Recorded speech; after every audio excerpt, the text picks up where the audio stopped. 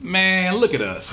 Who would have guessed it, right? Yeah. We are Curtiss King Records, a little dream team of rappers and music producers from all around. Look, I just want to say thank you for sacrificing your guys' Halloween plans for this little campfire meeting. I think it's really important that before I get you guys signing your life, I mean, before I get you guys signed on the dotted line, I want to make sure that, you know, we kind of build up some chemistry and get to know one another. Well, I, for one, didn't see this coming.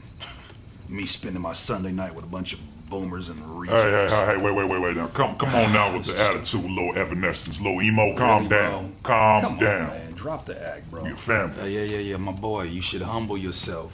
There's millions of producers who would die for the opportunity to be ten toes down with Sus Bunny by the campfire, my boy. Cap, relax. This guy gets one repost from Timbaland, and all of a sudden, producers are sacrificing their lives for a little campfire love with Sus Butt. Watch it, my boy. Am I hearing this correctly? Can't make this. Shit up. Hey, yeah, yeah, I meant to hit you on the gram about that, man. That's big news, bro. Congratulations. Hey, yeah, yeah. Congratulations on that, Sus. It's a big deal, bro. Yeah, yeah, whatever. You welcome. Yeah, that's right. Congratulations, Sus Bunny. That's a huge deal for Curtiss King Records. I mean, can we just be happy for each other tonight? You know, we supposed to be a family now, everybody. We we Curtiss King Records. I hear that, Roscoe. You make a good Instead, point. can we just focus on all of the amazing music that we finna make? And then can we ah. also focus on the money we finna make at least? That's, I know that'll make you happy. I mean, fellas, if you really think about it, we finna be on. Too late, my boy. I'm already on. Okay, wait, wait, wait, wait, wait, wait, wait. Let, let's let's try to change subjects. We didn't come here for that. This is Halloween, man. Does anybody have any horror stories they want to share? Besides your hairline?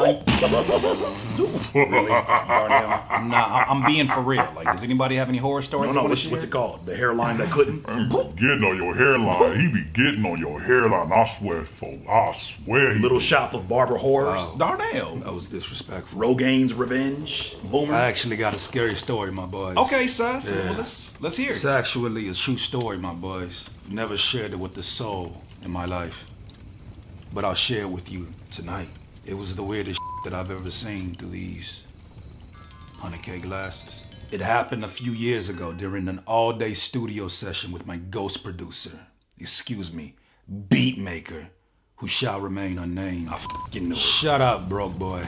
Anyways, this was the day that I had made 752 beats in a day. Have you ever done that, my boy? The session was booked at noon, so we did not waste any time. We made banger after banger, heat rock after heat rock, slapper after slapper, hit after consecutive hit. It was a thing of beauty, my boys. A labor of love, some may say. But I did it because I'm built different, my boys. I'm like that, my boy. Yeah, you see. Sus, could you just please get back to the story, bro? I said what I said.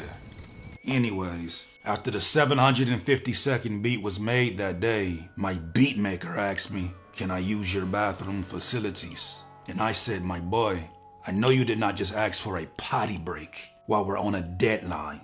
I told him you can go potty when you're 100K on the wrist, Xbox on the hip. You see the drip rich. Yeah. Then I proceeded to take a power nap. Bad decision, my boy.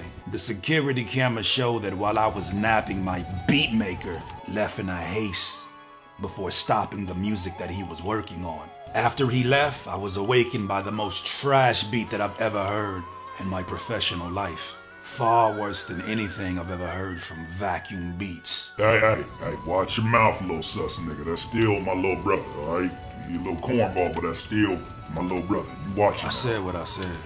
As I stood up from my power nap, I yelled out to my beatmaker, Hurry up, you broke boy. Come back in here and turn off this trash ass beat. Unfortunately, I got no reply, my boy. I tried to call him. I texted him, but I got no answer.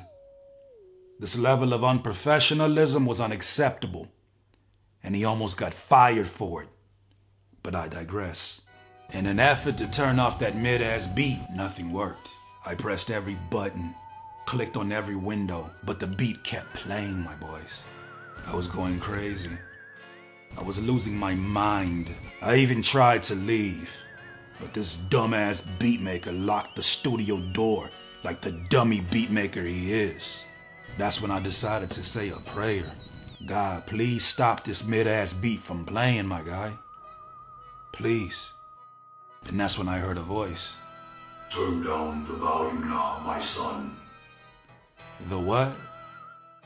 God? The black circle on the interface, my son. You talking about this? Yes. Good luck. And it worked. That's why you always keep God first, my boy. That's why I say that. Eventually, my beatmaker came back from his potty break, but after that experience, I was too drained to watch him make another beat. So I ended the session, made plans with the baddie, and I summoned my Tesla to take me home. The end. Ain't no way. Ain't no way, ain't no way, ain't no way nobody else. Question, sus. Why didn't you just turn off the computer? Like, I mean, even I know that. Hell, I don't even know that. Am I tripping? that was probably the worst fucking Halloween story I've ever heard in my life. Damn, Thank you. Darnell kind of got you on that. That one. takes actual effort. That was dumb as Yeah, hell. yeah, yeah, whatever. You wouldn't understand, my boy. You're not ten toes down like me. You would have had to be there. I cannot prove it, but I think that that beatmaker set me up. Look up, Nazi. Say cheese.